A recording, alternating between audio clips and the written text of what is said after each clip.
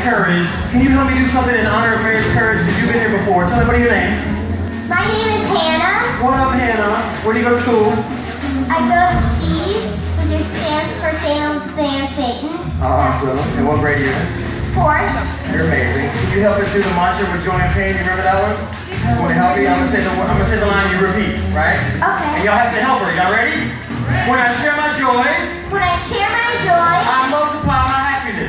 multiply my happiness. When I share my pain, When I, I share my pain. I divide my sadness. I divide Divide my my And sadness. when I embrace the two, And when I embrace the two, I I, become whole. I become whole. We, We, as a student, as a students, as people, as people, as community, as a community, become whole.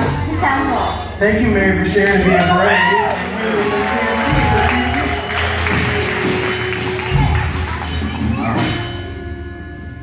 I come from Ethiopia, where many people care about women.